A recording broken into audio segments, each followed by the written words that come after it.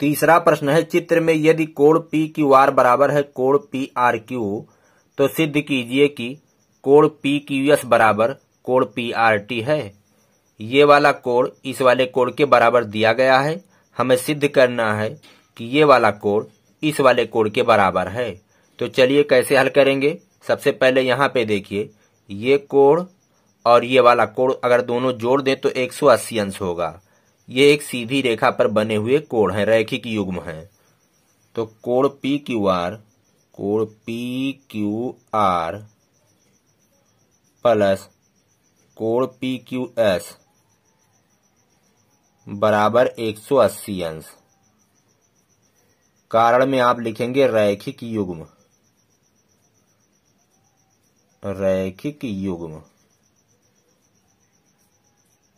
चलिए इसको समीकरण एक मान लेते हैं। उसी प्रकार ये वाला कोण और ये वाला कोण जोड़ेंगे तो ये दोनों का योग भी 180 अंश होगा। इसी रेखा पर बने हुए दोनों कोण हैं, एक सीधी रेखा पर बने हुए कोणों का योग 180 अंश होता है।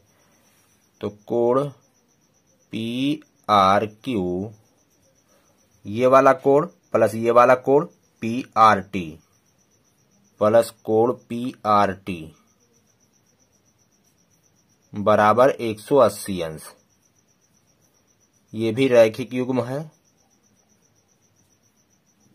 रैखिक युग्म। इसको समीकरण दो मानेंगे। अब समीकरण एक योम दो से।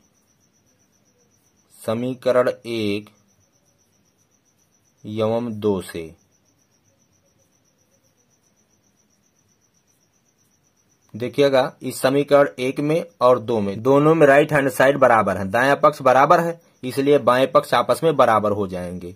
तो इसका बाया पक्ष है, कोण पी क्यू आर प्लस कोण पी क्यू एस बराबर। इसका बाया पक्ष है, कोण पी आर क्यू प्लस कोण पी आर टी अब देखिएगा कोण पी क्यू आर और पी आर क्यू ये दोनों कोण बराबर हैं। तो हम इसे काट सकते हैं। यहाँ लिख दें, चूँकि कोण पी क्यू आर बराबर है कोण पी आर क्यू के।